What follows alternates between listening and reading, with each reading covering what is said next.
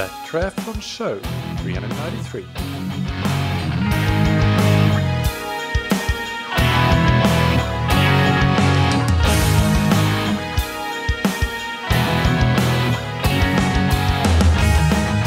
Hey, what's up, everybody, and welcome back to another episode of That Triathlon Show, the podcast presented by scientifictriathlon.com. I'm your host, Michael, and on today's episode, I interview Michele Zanini. Michele is a PhD candidate at the University of Loughborough who is studying the connection between running economy, durability, and strength training. And he's also a physiologist and strength and conditioning coach with the Italian Triathlon Federation. And uh, a third arrow in his quiver is uh, working alongside uh, the legendary running coach Renato Canova. We ended up talking for uh, two hours, so I decided to split this interview into two parts. So today is part one, and next week we'll hear part two. And uh, in part one here today, we'll hear about uh, Michele's work with the Italian Triathlon Federation. We will discuss the science of running economy and durability. And then next week, we discuss strength training for endurance performance and uh, Michele's work with uh, Renato Canova, as well as uh, Canova's training principles. Before we get into the interview, big thanks to our sponsors, Form. The Form smart swim goggles give you real-time feedback in your swim training right on the goggle lens, including splits, a pace, stroke rate, and heart rate. This means that you can execute your swim workouts uh, better, whether it's pushing harder when you're starting to fall off the pace or holding back when you're accidentally going faster than you should. It also means that if you're using a Garmin watch in the pool, you can finally uh, get rid of that because the goggles will automatically start and stop each interval uh, when you push off from the wall or reach the wall at the end, and they will give you accurate splits uh, based on that. Personally, I also think that it makes swimming more fun and uh, motivating when you have some uh, feedback within the intervals, not just between intervals. And it uh, does make me want to go to the pool more often as I have the uh, accountability of the goggles uh, throughout the entire workout. You can get 15% off the goggles with the code TTS15 on formswim.com forward slash TTS. And thank you to ZEN8. Uh, the ZEN8 indoor swim trainer allows you to improve your technique, power, and swim training consistency, even if you're short on time. It is a great tool for busy athletes because you can do a quality ZEN8 workout in just 15 minutes at home, even on days when you don't have time to get to the pool. It is a perfect complement to pool and open water swimming as it allows you to focus specifically on key aspects of your swimming, like your catch and your power, and you can isolate them more easily than you can in the water. You can try the ZEN8 risk free for up to 30 days, so if you don't love it, just send it back, and you can get 20% off your first order on zen8swimtrainer.com forward slash TTS. Now, without any further ado, here's part one of my interview with uh, Michele Zanini. Welcome to the Triathlon Show, Michele. How are you doing? Oh, good. Thank you. Thanks for inviting me. And how are you, Michael? I'm very good. Thank you. Uh, so, uh, tell us a bit more about yourself. Uh, who are you for the listeners that haven't heard about you before? Yeah, no, thanks for inviting me over, first of all. I've uh, been a, a hungry um, follower of your podcast in the past few years. So, uh, really glad to be invited and wanted to commend on uh, your effort that uh, the, the, effort you put over the last uh, few years on this. but yeah, I'm a, a, physiologist and I'm finishing off a PhD in exercise physiology at Loughborough University. Alongside, I work with professional athletes, uh, both in running and triathlon. And uh, I work primarily as SNC coach and physiologist for them together with my job with the Italian Triathlon Federation at the moment. So, can you explain that uh, in a bit more detail? So, you work with the Italian Triathlon Federation, uh, and that's with the triathletes, obviously. But when you mentioned working with runners, what is what is the the setting of that work? Yeah, so I've been working with uh, runners from uh, probably seven, eight years now, and uh, I've had the chance to go to Kenya a couple of times with uh, two different coaches and then started developing uh, some connection with Renato Canova. And I had the chance to be close to him for a few years now. And uh, yeah, been supporting part of the SNC for, for his group uh, as well as just applying the knowledge from Renato to uh, less uh, professional athletes or let's say uh, recreational runners or non-professional runners really. And then moved to triathlon from there. Yeah, no, that's a really cool opportunity, and we'll discuss more about that in a little bit. Um, and but then one other follow up on your introduction is your PhD that you're finalizing. What is the topic of that PhD? Yeah, we're basically looking into the relationship between uh, running economy, uh, durability or fatigue development or fatigue resistance I think we still have to find the precise word to describe that, but basically how physiology changes as we fatigue and how that affects performance. and uh, uh, linking up with uh, strength training and how that can be helpful to prevent fatigue development. And uh, I work with uh, Rich Blagrove, which has been probably among the most influential people in, in the area, as well as Jonathan Folland, which is very much into uh, neuromuscular performance and and running economy itself. Yeah, and Rich Blagrove has been a guest on the podcast before, so I'll put a link to that in the show notes.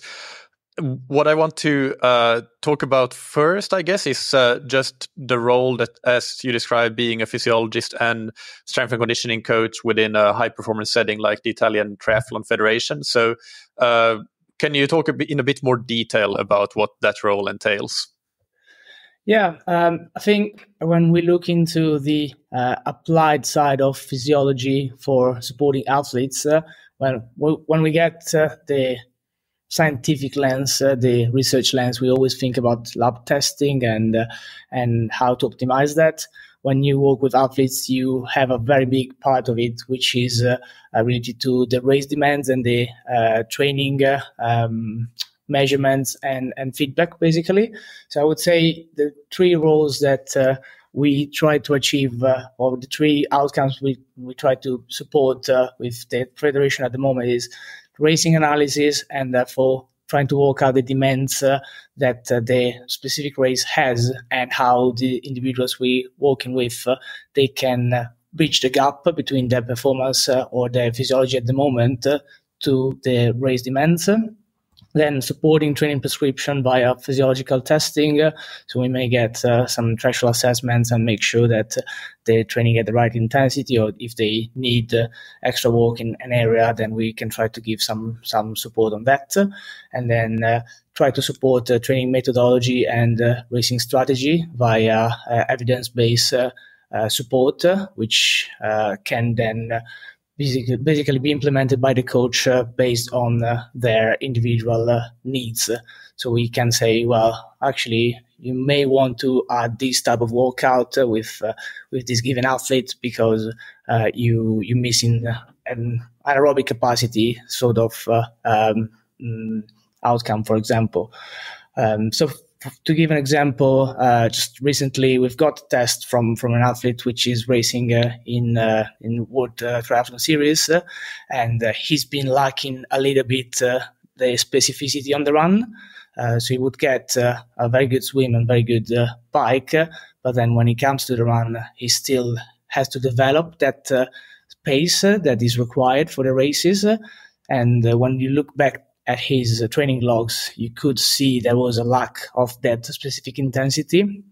So running, uh, I think in World Triathlon Series at the moment, where if you want to be top 10, you're around, run, you have to run around three, uh, 255 to 302, 305, uh, probably three, three flat 302. Um, and yeah, if you're training uh, very far away from there, you won't be able to achieve that in a race mainly when, when you got a run off bike. So the target uh, to develop over the last few months has been, well, try to get some consistent uh, uh, exercise in that area, basically around the second threshold or just above the second threshold, which wasn't uh, happening before. Mm. And uh, just out of curiosity, because uh, there could be one or two possibilities here uh, that I see.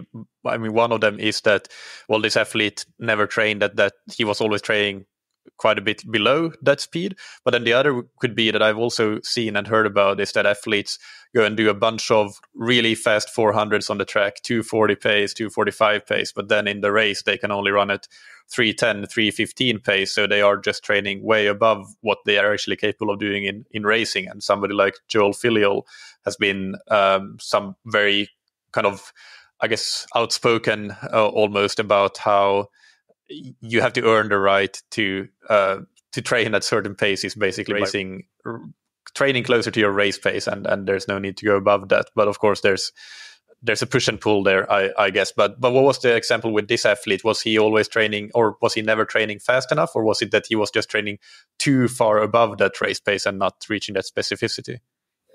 Yeah, uh, as you said, uh, you probably need a little bit of uh, speed support. So this particular athlete was doing it. If anything, when we tested him, his speed at VO2 max was pretty good.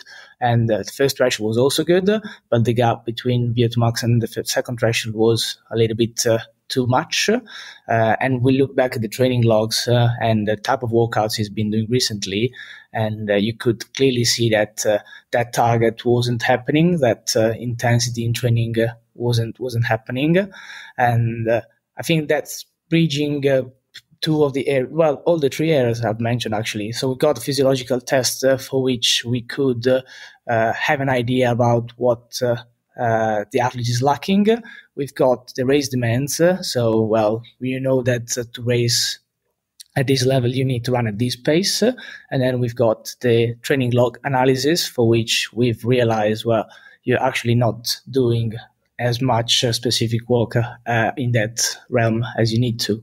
Um, and probably we got the chance to speak about it later, but I believe uh, you you have a funnel of intensities uh, that uh, you you need to work towards. So you got like your specific uh, race demands, and but in running it's very easy because you just have race pace. In other sports is different. In triathlon you have the tactics, you have the ability to run to stay on the bike and stay with, with the group uh, and uh, be able to produce maximal efforts continuously over the over the race. Uh, but to keep it simple for the run now, uh, you have that specific speed that you want to target for the race, uh, and you can support it from both the endurance and the uh, speed end, and funnel through from something which is maybe 10% or 15% faster and slower, and then go towards the the target speed as the training progresses.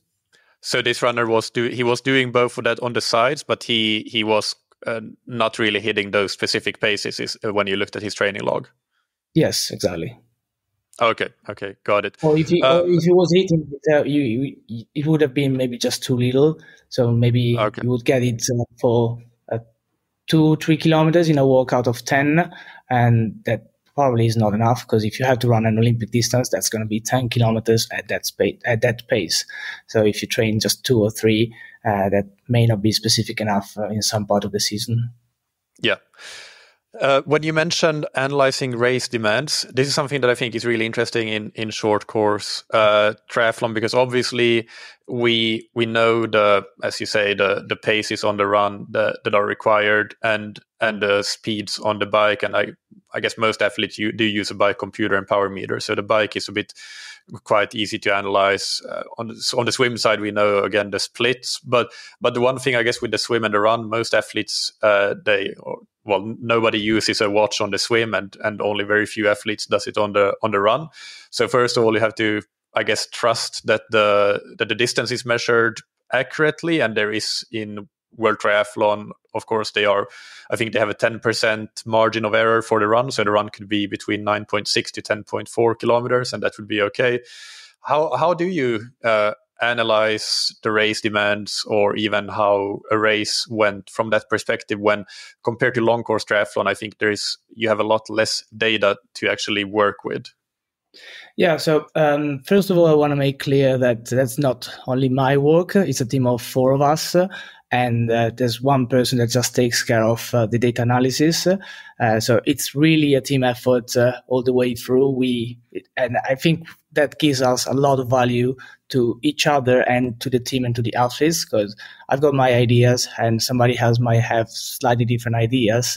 and when we get together, when we get them together, it, it just makes it better, to be honest. And yeah, I want to commend uh, his work uh, because he's been uh, super insightful in the last uh, year and a half with with the support of the team. Uh, but basically, from from the running perspective, we've got uh, uh, Stryd uh, footpods at the moment. We just fit it to the athlete, or we try to fit it to the athlete when when they're about to race, and then we just keep the record of that. And we got well, all the biomechanics data that uh, can be given from from the pod, and it's very accurate on the speed as well. So we tested it uh, uh in the lab against uh, the uh, treadmill and on the on the track as well. And as soon as as long as you calibrate it for the right shoe, so it, it has some some errors based on the type of shoe you use, but as long as you calibrate it beforehand, it is very accurate, and you can actually see the pacing of the athlete as well because uh, you get splits uh, from the races, but they vary. They may be eight splits, they may be four splits, uh, and you don't really get to see the final uh, kick or the initial burst after after the race after sorry after the bike while with uh, with the home pod, the, with the foot pod, you can actually see the full profile of the athlete and see how the behavior changes during the race or due to some some events happening within uh, within the run. So we've been trying to push uh, uh, coaches to to implement that in training as well, just to have a comparison between training and racing, and and yeah, that he's been quite helpful with with just pacing and and racing strategies for for the for the run part of the race. That's yeah, that's really cool. Um, yeah, really, really nice way of of doing it, because the Stryd can record in its internal memory, I guess, without without needing to have that watch to transmit to, or or even a, a phone. Obviously, you don't want to run with a phone in a race like that. So um, yeah, that's that's a smart smart way of doing it. The and uh, when you talk about the physiological testing and how that can inform training prescription, uh, are there any other, other than the example you already mentioned, are there any other examples that you could point to just to get a, an, a bit of a broader idea of how how this is used in a high performance setting, the testing and how it then relates to the training prescription. Yeah, so um, when when we look into the testing for these type of athletes, one thing that we want to consider is uh, the time that you have available. So it, it gets very hard uh, to get full protocols that may be optimal, may be very accurate, but they, re- they may require two, three, or maybe half a day of testing sometimes. So you really don't have that time with, with athletes and uh, mainly with triathletes that they train uh, anything between 25 and 35 hours per week. Uh, so you really need to get uh, the test done quickly and try to get as many data as possible. So you may have to compromise a bit uh, the quality uh, of the test uh, and uh, try to get the most important outcomes. so sometimes we prioritize the bike, sometimes we we get bike and running. it depends which part of the season we are in the, as well. So at the beginning of the season this year, for example we just focused on the bike because uh, they needed uh, to build up a lot of uh, kilometers on, on the bike and we wanted to make sure that they were riding at the right intensity whether after the winter period you want to have an idea of the baseline uh, post general preparation of ahead of the races, so you might want to test both. Uh, we've got some swimming testing as well, but of course that's a bit more complicated because you don't really have uh, the chance to measure as many uh, variables as you would get from running and, and cycling. Um, as for the testing itself, uh, we just try to run tests within uh, 45 minutes to an hour. Uh, and uh, the bike uh, is a ramp test, whether with the run, we tend to use a step test with lactate measurements because that is probably a bit more reliable with running. a ramp test with running due to the ventilation, which is slightly different on running. Uh, it, yeah, I, I, find it a bit more difficult to interpret. Uh, so you can get VT1 and VT2, but uh, uh, yeah, I've, I've, found a bit more difficult than uh, using lactate threshold one and two for training. Uh, not really training prescription, just just to get an idea about where the two thresholds stand and how far they are from VO2 max and from from each other. And why do you prefer the ramp test on the bike compared to the to the step test? Do you prefer the ventilatory thresholds because it is you can get them more reliably on the bike compared to the lactate thresholds? Uh, that's it, probably just because it's quicker. Uh, so there's another physiologist that uh, takes care mainly of, of the bike. So again, it's a team teamwork. I take part of the strength and conditioning and uh, the running side, and he takes care primarily of uh, the cycling side. Uh, but we work together and uh, yeah, it's, it's really a push and pull of compromises. Um, but yeah, even in research, I think um, the uh, ramp test uh, works quite well and is quite reliable. Whether with with running, you may get a bit more noise just to yeah, just due to the to the running, which is uh, by basically making bounce the wire as as you go in longer, so you may get a bit more issues. And even just like ventilation wise, you have a bit more variability on the run than than on the bike. Mm. And uh, do you have any interest in the other physiological parameters than the thresholds, whether they be ventilatory or lactate? Do you are, for example, on the bike? Eh, it, i mean, you measure VO2 max, I'm sure, but is that an interesting parameter that you actually, or actionable parameter, let's say, that you identify certain athletes might be lacking there, or certain athletes are more than uh, well equipped enough in terms of VO2 max? Uh, and are there other parameters uh, that that you're also looking at uh, in terms of the physiological markers?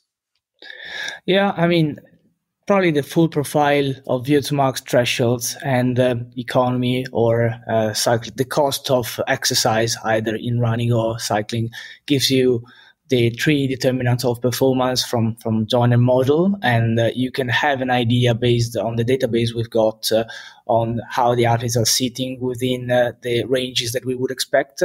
so powered VO2 max or, or, or speeded VO2 max, uh, we we have now a decent idea about where they should sit uh, for for this type of athletes and uh, maybe for junior athletes or under 23 athletes as well. Uh, so that gives you an idea about the development uh, of the athlete longitudinally as well. And having the VO2 max uh, sort of as a ceiling, uh, you can look into LT1 and LT2 or VT1, VT2, but basically the two thresholds between moderate and heavy and heavy and severe domain to grasp an idea about how close they are to the ceiling.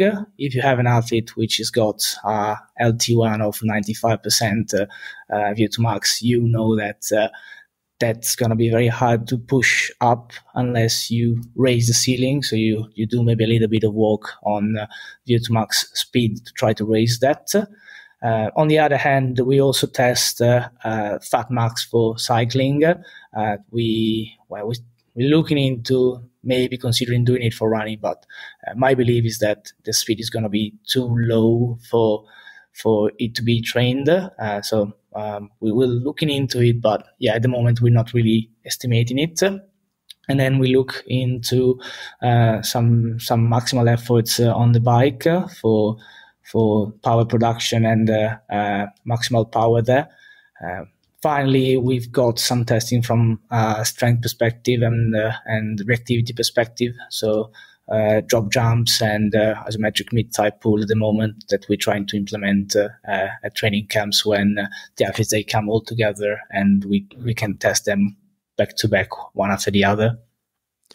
And uh, you've talked about how this is uh, a teamwork and a team effort. How does how do you as a physiologist and uh, the other physiologists uh, work with the coaches? Is there a lot of push and pull there between the coaches have their ideas and uh, and the physiologists have their ideas, or or are you generally on the same page? Uh, how how does that work in general? Yeah, uh, well, it depend. It, it, really depends on the person. So um, one thing that uh, I personally try to focus initially is just to get to know the coach and uh, the athletes uh, and uh, try to understand their their way of walking and even just like the way of communi- communicating really because uh, communication to me is key, uh, and uh, you see day in day out in any environment. you can be you can be very knowledgeable, but if you can't communicate appropriately, you really lack opportunities. You really struggle creating an impact. So first of all, you want to make sure that uh, your input can be taken uh, in in a positive way from the coach, and then from there you can start uh, giving inputs. so it's it's initially just try to create the trust between what you're doing uh, and uh, what you can provide uh, to the coach, and then just try to suggest implementation of of optimization of training or racing or maybe just make a comment about, well, this race went this way, this may be the reason. Uh, so initially, it is tough when you get into the new environment because, well, nobody really knows who you are and what you can give to them. So I think a lot of people try to just prove themselves as uh, they start off. Whether, uh, yeah, it's probably best to try to provide value as you go along. So there's no need to step into the environment and say, oh, I, I can do this, this, this, this. It's more like, well, let's see uh, what can I provide. Uh, just looking at uh, your work and uh, and how you're doing things at the moment, and from there, I try to give some insights about it. Uh, so one example I can give about this is not related to physiology, it's related to strength training, but it it is quite clear. So when I started supporting uh, some of the athletes uh, from a methodological strength and conditioning perspective, uh, I just stepped in the gym and uh, looked into the, the program of the athletes and uh, and followed them uh, through through the training, having conversation with the coaches before and after training, and eventually coaches just started asking my opinion and try to implement some of the suggestions. And then from there, uh, we started working together. And now uh, and I'm ending up supporting more than half of the national team um, directly, and then just overseeing the methodology of uh, of other coaches as well. So yeah, I think would have been very different if I would have just stepped in and said, "Well, you're doing this, this, this uh, suboptimally. We can optimize it uh, in uh, this, this, this way." Because really, getting to know the environment you're in first of all, and then uh, try to give insights about uh, uh, what can be changed or optimized. Yeah, that's a perfect example. Uh, thank you for that. Is there anything else that you want to mention or talk about uh, with in regard to working in a high performance setting as a physiologist and strength and conditioning coach, coach before we move on to the to the next topic, or do you think we we covered most of it? Yeah, and I think we, we covered most of it. Again, uh, very important to to just have a efficient, effective communication and uh, uh, just having a teamwork. So having a two-way uh, communication, of course, within the sports science team and then between the sports science team and the coaches. Uh, I think we we don't get uh, as much pressure as the coaches get because the results they they are dependent on our work, but not as much as the coaches. So you want to be yeah aware of that when uh, you may yeah want to try to implement something new and uh, the coach goes well uh, i don't know if i want to do it or they say well not now so yeah even just giving well timed uh, suggestions uh, it is probably important uh, and of course coaches are more interested in in trying something new when they're far away from the main season or when some positive results are happening. So yeah, um, that that may be uh, something that uh, yeah you want to consider strategically when you can, you want to try to make an impact. Makes a lot of sense. Yep.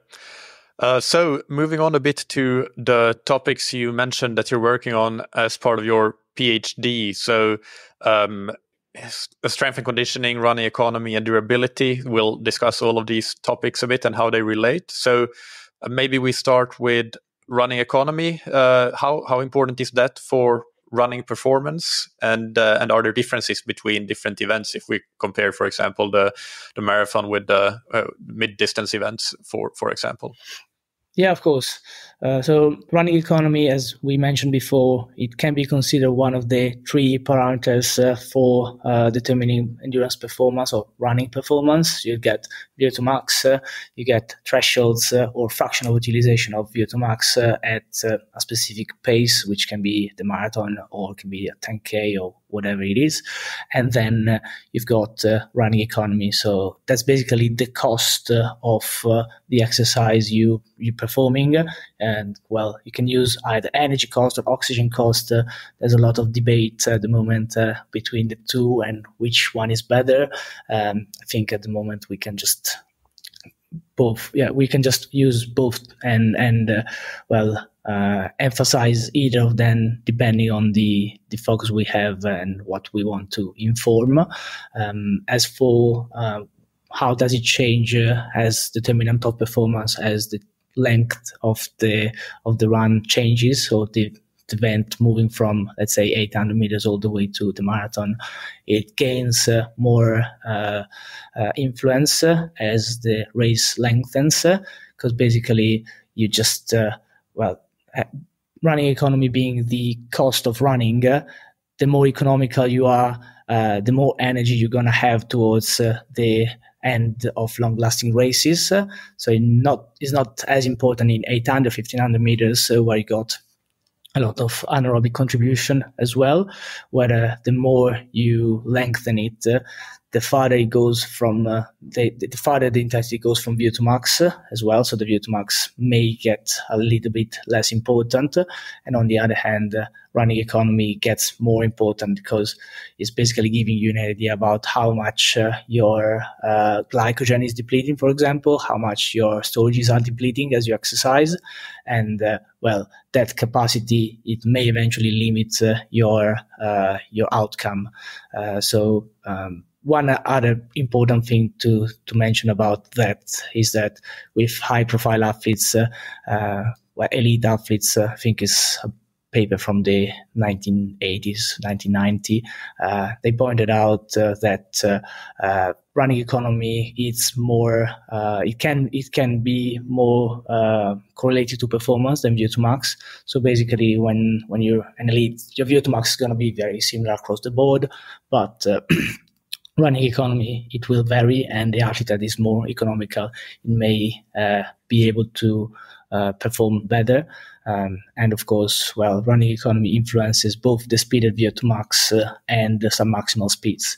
Because uh, if you've got uh, an athlete that has a, uh, let's say, I don't know, 70 millimoles, um, sorry, for milliliters per kilo VO2 max, um, but you're using more oxygen um, at the same speed, then you're not going to be uh, as quick at the speed of VO2 max, and likewise for some maximal speeds.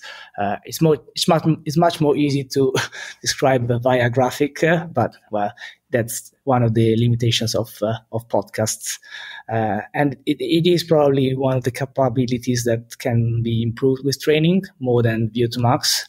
So if you look at longitudinal data from uh, Paula Radcliffe uh, from Andy Jones' paper in 2006, you can see that uh, from where she was, uh, I think, under 20, all the way when she set the world record in 2003, she kept her VO2 max fairly stable, uh, but her uh, running economy got better and better and improved by roughly 15%. And of course, alongside the performance went up and speed and VO2 max got faster and faster as well. Yeah, that's a good summary. And one thing just to uh, to mention as well for the listeners, when when you say that running economy is one of the determinants of endurance performance, along with VO2 max and fractional utilization, then basically what that means is that is that uh, you can you can essentially, if you know all of those three parameters, you can predict a performance which was done, I think, with Paula Radcliffe as well. Andy Jones did that, maybe not in a paper, but at least I, I remember him saying that he he did that uh, very closely in for yeah. several of her yeah. marathons. So, so knowing her VO2 max and her running economy and her fractional utilization, he could say that you're going to run a 216 30 or whatever it was for for any given marathon and and yeah of course it's not necessarily going to be 100% correct, but you're going to get pretty close if you know those those three parameters, and that's why they are the, the determinants of, of performance. Um, so so yeah, you have this, uh, described how running economy is very important. It can be improved. It can be improved longitudinally, maybe more so than VO2 max. What are the factors then that that influence running economy? Yeah, um, you got a fair few, and I don't think we know all of them yet. Uh, so uh, we've got, of course, uh, uh fiber type. So type uh, one fiber, they tend to be more economic and more efficient because they have a higher mitochondrial density and and mitochondrial efficiency. So that's another parameter. You get substrate availability and utilization. So uh, if you're able to use a higher percentage of carbohydrates of fat that may influence economy. So uh, basically, as the respiratory exchange ratio drops uh, and therefore the fat uh, utilization goes up, uh, your uh, efficiency, well, not efficiency really, uh, your economy gets worse because you're using about 10, 12% more oxygen to, to use fats than, than carbohydrates. So that's one thing to, to keep in mind when, when you're looking into maybe uh, analyzing some data from uh, from long-lasting efforts or long-lasting uh, trials. RER generally tends to drop, and that increases fat utilization and therefore increases oxygen utilization due due to that. So that is linked to the fact that well we want to keep the carbohydrate utilization high and therefore we feed carbohydrates during exercise because otherwise if we lean towards fat they're not as efficient. In fact uh, world class marathon runners they tend to run the marathon with uh, respiratory exchange respiratory exchange ratio about one and therefore primarily on carbohydrates. Um, you've got uh, oxygen availability and delivery so basically the capacity to continuously deliver oxygen and therefore capillarization as well to, to the muscle. And uh, well, that links up to altitude as well. So you may get uh, different uh, uh economy to in, in altitude than at sea level. And well, it's probably linked more generally to uh, VO2 max as well. So you get uh, uh, need to enhance uh, the uh, oxygen delivery to the muscle, and therefore you create more red blood cells, uh, and that eventually uh, lifts up uh, your VO2 max due to peripheral adaptations um, from instead a biomechanical and uh, neuromuscular perspective. one of the key things uh, uh, that probably differs between running and cycling uh, or uh, other activities that they don't have a stretch shortening cycle is the stiffness of uh, the elastic structures in, in the leg, primarily in the Achilles tendon that basically allows you to storage some of the energy that is coming from the landing of, of the step and then uh, use that to propel forward. Uh, it is very difficult to estimate. so uh, when, when you look into some modeling related to the uh, contribution of uh, the energy production from uh, um, the stiffness uh, of, of these structures or just like from, from elastic energy saved uh, via, via the running gait. Uh, it really ranges from, uh, I believe it's 40 to 60%. Don't, don't quote me on that, uh, but there's a review paper about it and you literally see uh, the estimations going all over the place. so I think we, we still struggle with, with really quantifying that just because it's we, at the moment we can't really quantify mechanical uh, work in running. Uh, and uh, you can have metabolic work, but if you don't have mechanical work, then you can't estimate the efficiency of running, which which is basically giving you the capacity of, of these structures to uh, produce work. Uh, within the muscle, you have an efficiency which is up to 25%, uh, but again, due to these structures, uh, it seems with running it can go up to 40, 45, 50%, or perhaps even more with uh, with sprinting. Uh, so basically, the more stiff uh, your structure tendons, and elastic structures are, the less energy you need uh, to propel forward. And of course, on the other hand, uh, you may risk to get injured if the stiffness is, is too high. So that's also to, to keep in mind. and then We've got uh, muscle activation. Uh, it is quite difficult to measure because uh, you've got EMG, uh, which is uh, usually on surface, and at the moment is not accurate enough to to give you a specific insight unless you you measure it multiple times.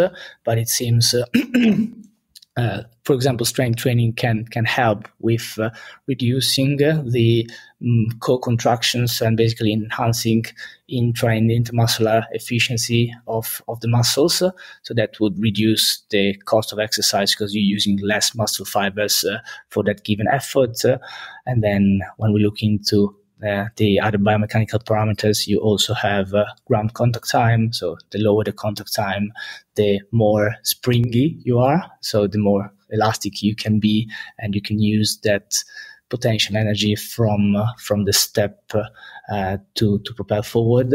Uh, for that vertical oscilla- oscillation, uh, vertical oscillations, and that's basically telling you where where is the direction of your push. So of course, as you run, you can't go only forward. You you go up and forward.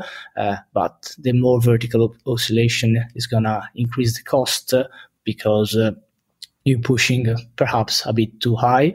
Uh, so with middle distance runners, uh, you can clearly see that uh, on on a treadmill, uh, they tend to bounce uh, much more than uh, the marathon runners. Whether marathon runners, they tend to be much more flat.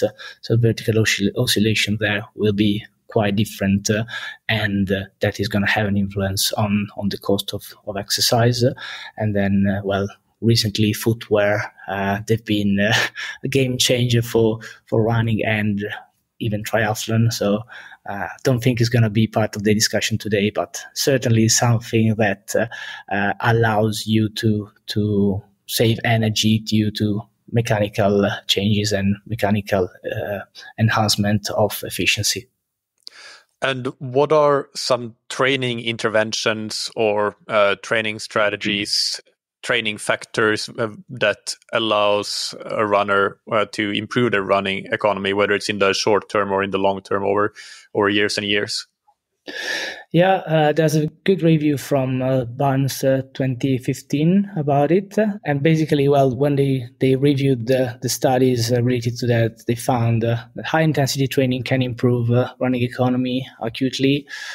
you've got altitude training that can help from, from what we said before, basically having more hemoglobin mass delivering oxygen to, to the muscles. you've got strength training, and we may want to get in some details about it later later if, if you got the time. But basically, uh, via strength training, uh, you may alter that uh, stiffness that we mentioned before, as well as potentially just enhancing the coordination within and between muscles uh, and therefore reducing uh, the utilization of uh, the fibers and and then one other way for which strength training may may create these adaptations and, and improve economy is basically you increase this, the strength ceiling of the single fiber the strength, the, the yeah, the mm, basically the maximal strength of the single fiber, and therefore to produce the same uh, effort, the same uh, uh strike length, uh, you may be able to use uh, less fibers because the strength of every given one of them is higher now. So if your ceiling is 100 and you bring it up to 120, uh, and let's say you're using 30% of your fiber at 100, when that goes up to 120, you may use 25. So that helps activating less muscle fibers. It helps uh, uh, having a bit more uh, capillary um, uh, delivery of oxygen via the capillary because when fibers are contracting, there's very little oxygen delivery happening uh, uh, to the fiber because it needs to be relaxed. And well, finally, that will help um, reducing the cost of running. And as for other interventions, Andy Shaw, uh, in I think he published a paper in 2017. Uh, he's the physiologist of British athletics, and he tried to do downhill running as a strategy to improve running economy. I don't think they found any any effect, but well, research is is uh, always tricky from from this perspective because you, you get underpowered studies, so you may get 12, 13 people, and you don't have uh, a difference there, maybe just because they're not there's not enough people to be to be involved in to, to get tested in the study. Uh, so that may be a strategy, even though again there's no evidence of it. And I think again Kyle Barnes uh, for his PhD he did a, a uphill running uh, intervention and he may have found some some effect there, but uh, don't quote me on that because I think the sample size was very very low. I think they got five different type of uphill running uh, exercises, and uh, uh, they found some effect uh, for for some of the of the training sessions, but the sample size was very little, literally less than six people per per type of training. So again, very difficult to give any insights on on these these numbers. Got it. Yeah. And what about durability? Can you define durability, and and uh, then we can move on to discuss the how durability and and economy might be connected. Yeah, so um, durability it can be possibly defined uh, as uh, the fourth factor of endurance performance, uh, or well, that's what some authors they've been pointing out recently, and I think the first one doing it has been Andrew Jones. Uh, uh, firstly, in his paper with uh, uh with the analysis of uh, Eliud Kipchoge and other people involved uh, with the Breaking Two study, and uh, and then uh, Stephen Seiler and Ed Maunder as well in a review paper back in 2021. But yeah, basically, is the ability of the athletes to maintain their physiology or their the biomechanics, efficiency, or any of the parameters that we can measure that they can influence performance consistently over time.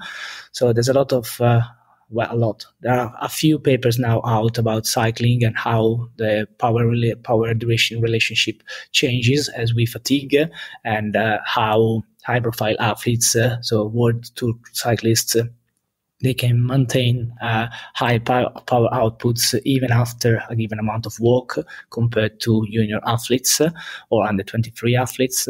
so yeah, it, it basically just tells you, well, are you able to maintain uh, your uh, uh, ability to produce efforts uh, in a fresh state uh, all the way till the end of a race or all the way to uh, after a given amount of work you've produced or uh, any type of interval efforts you you may you may do. So there's some research happening at the moment also about interval training and how that uh, uh, may affect uh, um, parameters such as the power duration curve or other other variables that can be measured. Mm. So so clearly for most athletes and the, the best athletes maybe have the, the least decrement in performance, but there is that decrement in performance if you go out and do a, a, a, solid ride for three hours and then you try to do your, or you try to do a hard 20 minute effort at the beginning and the end, you're probably going to be, most, most listeners here are going to not do as good in the, the one at the end of a, of a hard three hour ride. And uh, that's what a lot of the, uh, the, the world tour cycling is about being being at your strongest at the end of, of the stage. Um, but uh, but there's also the fact or the question of what are the physiological parameters that are maybe changing underneath that performance change. So how much do we know about about that in general, and then maybe we can discuss how running economy is uh, is a part of that. Yeah, that that's a great question, and there's a lot of interest at the moment. There's quite some field data, but uh, there's limited evidence of. Uh, what are the physiological uh, changes happening? Uh, you you do get a lot of studies related to fatigue and how that influences or how the development of parameters changes due to fatigue. Uh, one thing that uh, is probably very important uh, from an applied perspective is the specificity of the task. So, um, as you mentioned, uh, well, you get two cyclists uh, that they perform uh, a given amount of power for two or three hours, and then they they still be able to maintain uh, high powers uh, then. Uh, so that's the performance for their events with running and let's say the marathon. You basically just want to be able to maintain that pace without having a cardiac drift or having changes in your biomechanics and so on.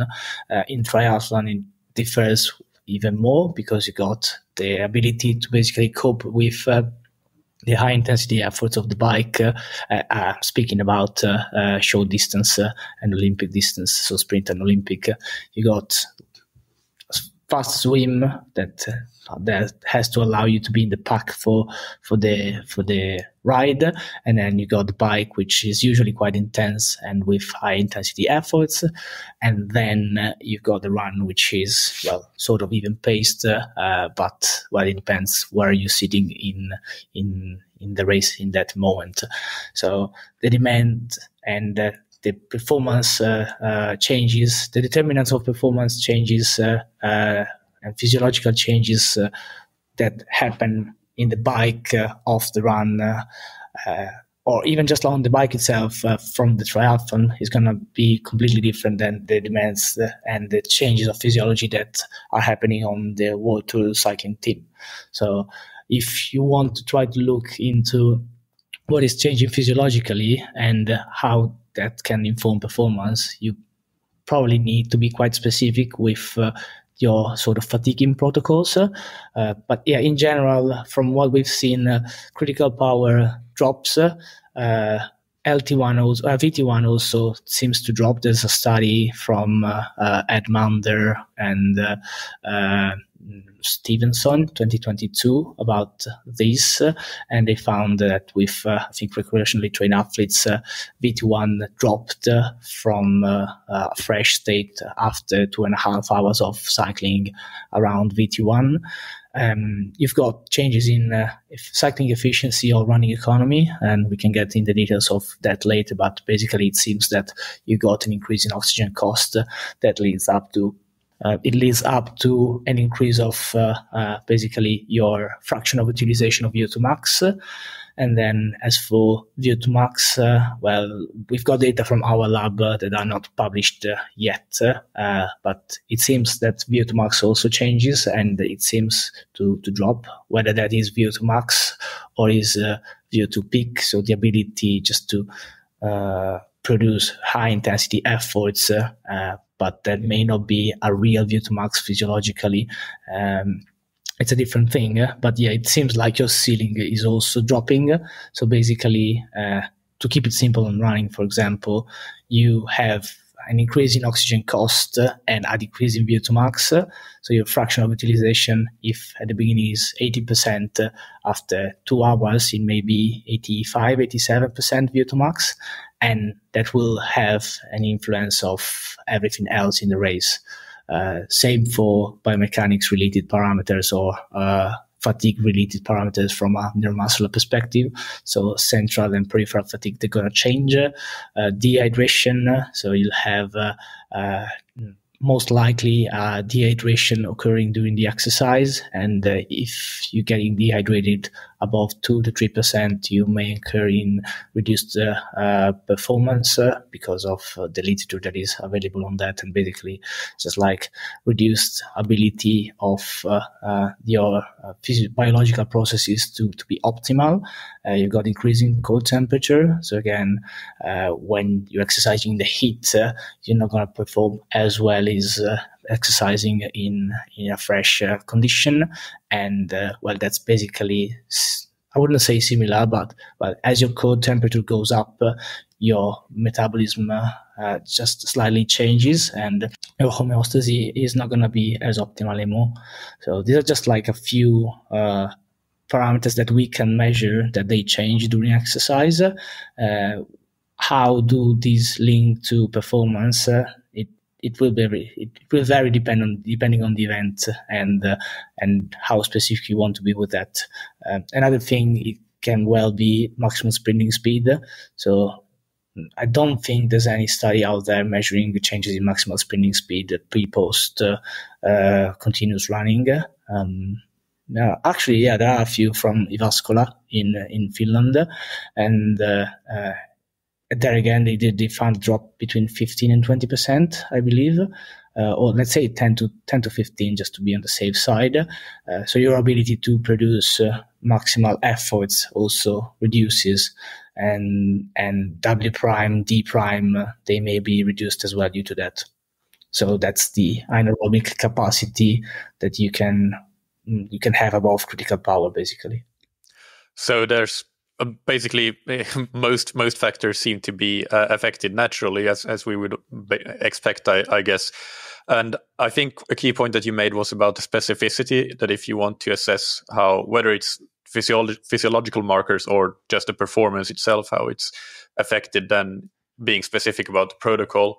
I remember uh, when talking with uh, I actually can't remember if it was uh, Arild Tveiten or Olav Aleksander Bu who talked about it, but when the Norwegians had been doing quite a lot of specific testing uh, in the Tokyo build-up with just doing a 1500 meter hard or all-out swim and a 40k bike or one-hour bike and and doing tests, doing running tests in a fatigue state or doing biking tests after that 1500 meter hard uh, hard swim and, and so on. So just testing really specifically. So that's a that's an excellent point. and but that would obviously be different for a marathoner or a world tour cyclist, they would design a protocol specifically for those activities. Is this something that you have tested within the Italian Federation, doing tests in a fatigue state?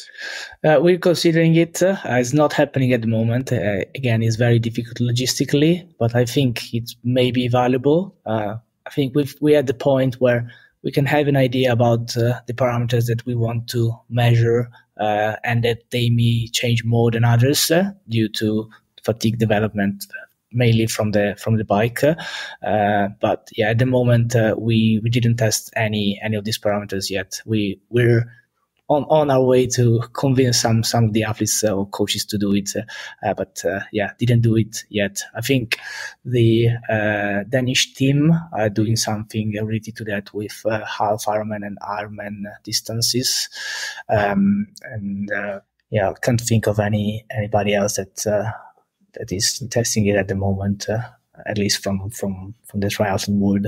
Uh, again, it's very difficult uh, for for athletes as well, and that's one of the conversations that I had with. Um, Andy Shaw and, and Andy Jones as well, as well. How can we test this capacity without affecting the training of the athletes? Because with this level of athletes, you really need to push them towards the limit to get some changes that are significant and they, they're not only noise from, from the measures. So if they're within the error measurement, then you're just not sure if this is changing or not.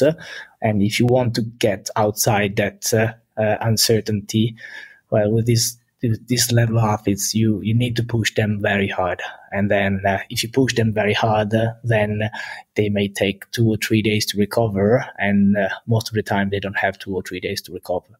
So that's one point from from the athlete and uh, and the program, and the other one from us as a support team. You just don't have enough time in the day to do it because you would have uh, probably two and a half uh, hours or maybe three hours of testing for one single athlete. And then you have to repeat it over seven or eight. Uh, well, it really depends on how many you want to test. So with the Norwegian team, uh, maybe Olav had just Gustav and uh, um, and Blummenfelt, so that may be a bit more suitable. Uh, but if you have a big group, uh, and with big, I believe if you speak about six or seven, it's already big for, for this type of testing it really requires you a lot of work.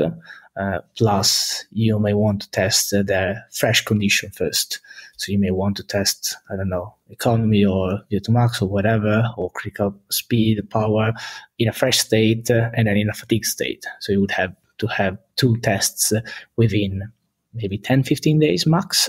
Uh, and yeah, that adds up uh, a lot of layers of compli- complications from a logistical perspective as well as a time constraints com- time constraints perspective. Yeah and, and not just the recovery before the test but even if you are going to do a, a let's say a fresh state vo2 max test you don't want to do it the day after you've been training for six hours with a lot of quality right? Because that you, you need maybe you don't need to taper fully for it but but at least you don't want to be fatigued for it, so you have to adjust the training before it a little bit, don't don't you think? Yeah, yeah. Uh, that that can be standardized, I think. So you because triathletes they are consistently uh, training in a semi-fatigued state uh, just because of the volumes they have.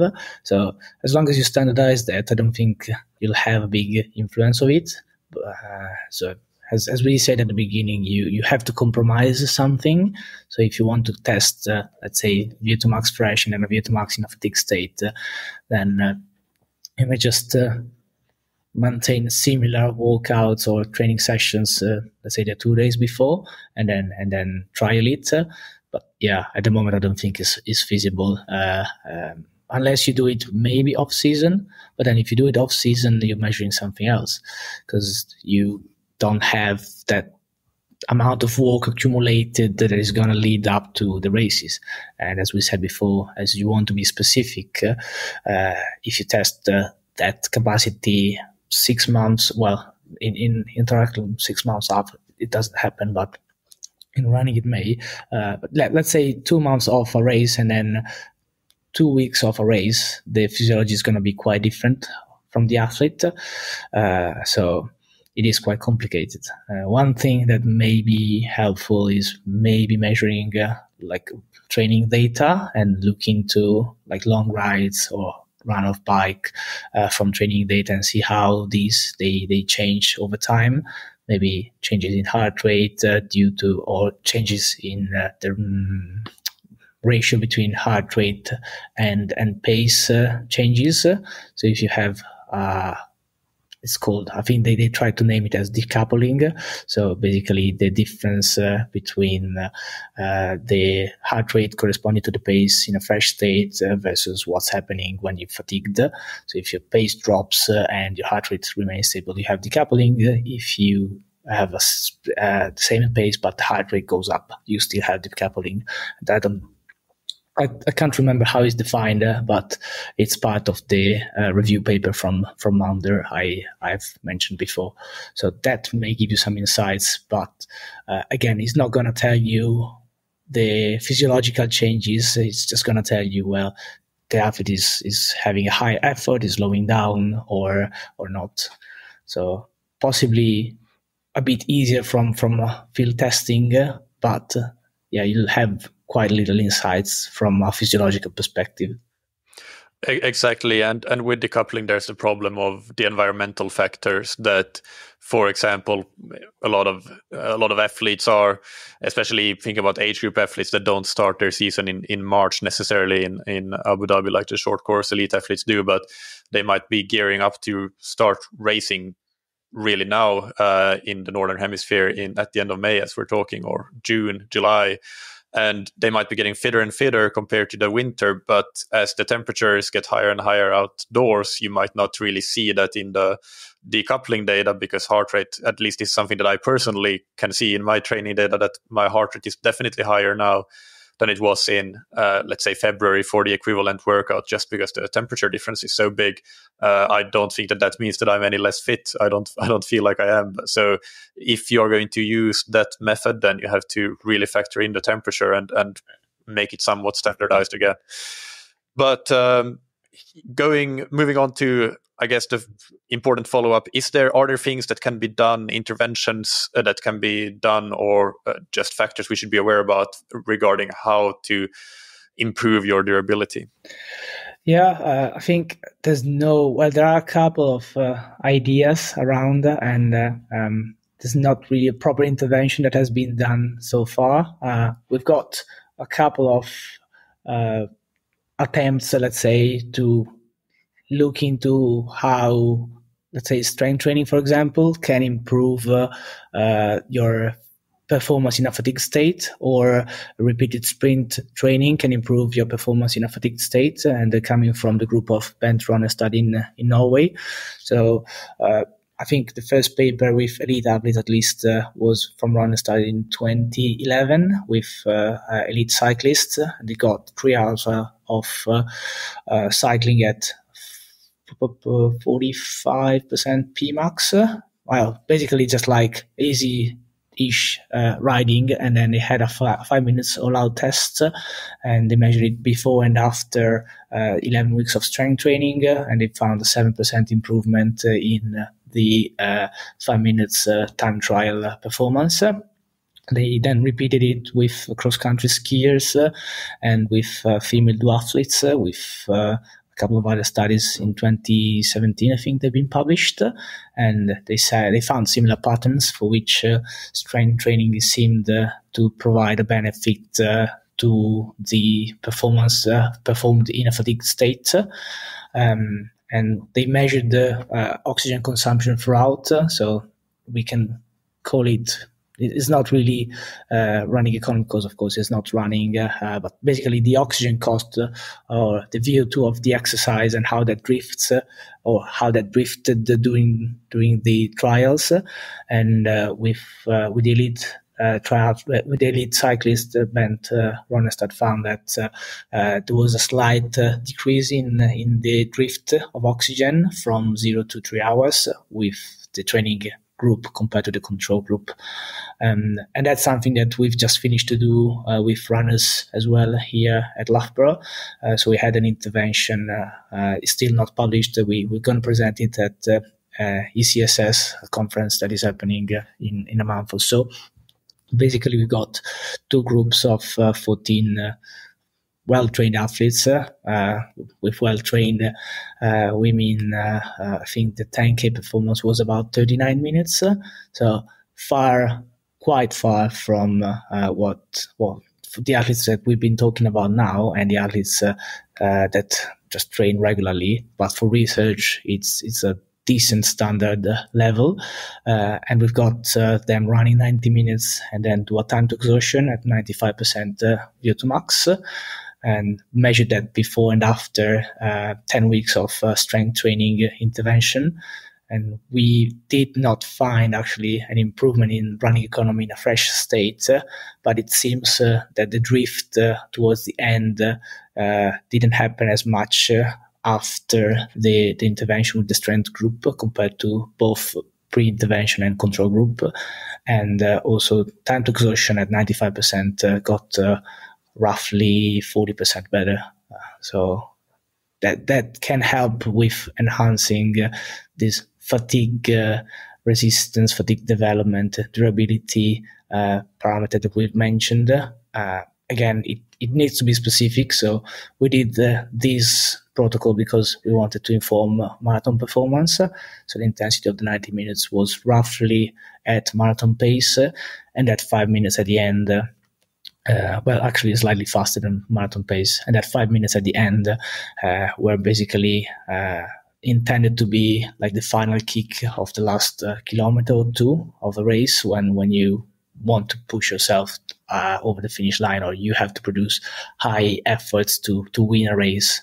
Uh, at the moment, you see more and more races where you get three or four athletes that are all the way to 38 39 kilometers together and then eventually somebody can can uh, lead and and win with with almost like a sprinting finish which which wasn't the case a few years ago.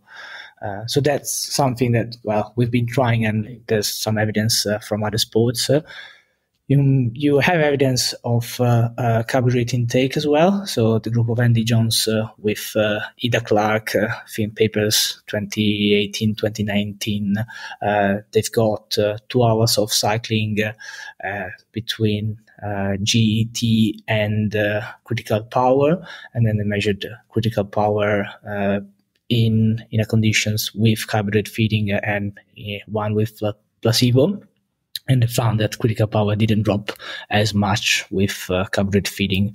And well, that makes sense. Basically, you want to eat carbohydrates uh, to be able to maintain your ability to uh, uh maintain your physiology similar to uh, a fresh state, which which links up to what we said before with uh, the potential effect of carbohydrate with reducing oxygen drift uh, during exercise uh, and and just uh, reduce the uh, amount of fat that you're using, which are less less efficient. Some other interventions that uh, can be helpful is possibly training volume over the years or just like consistent exposure to aerobic exercise.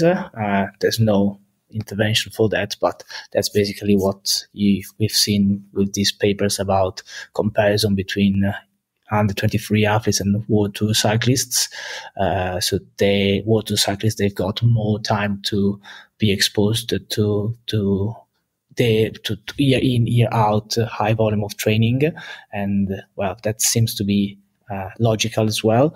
And if you look into some other sports, uh, it may make sense. Uh, so with uh, running, for example, middle distance runners, uh, 800, 1500 meters, they can be very successful even if they're quite young. So 18, 19, 20 years old uh, records, uh, they they not very far from the world records. Uh, whether if you look at the marathon, it happens very rarely that you get a very high performing athlete uh, being younger than 25, 26 years old. So that uh, may connect uh, to to that uh, narrative, and perhaps on triathlon as well. You tend to move to longer distances as you as you age, and if you look at the arena games, for example, which are very short, you have young athletes that they they can compete quite well, but then when they move towards uh, the Olympic distance, they're not uh, ready yet for it. I hope that you enjoyed that interview. You can find the show notes for this episode on scientifictriathlon.com, and you can find lots of links, uh, both to related episodes that I've done here before on the podcast, uh, with guests we mentioned, uh, and also uh, papers that we mentioned throughout this interview. I won't list them all, but uh, if for those of you interested, there's a bunch of links to uh, other episodes and to papers that are related to what we discussed here today. Next Monday, we will have part two of this interview, and uh, here is a tiny extract of what you will hear then.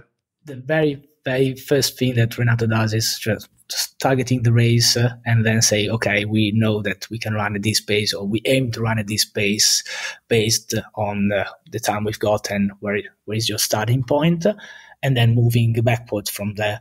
So you got your specific target, uh, and then you got uh, the support from the endurance and speed side. So you got, uh, let's say, five percent. Well, speed.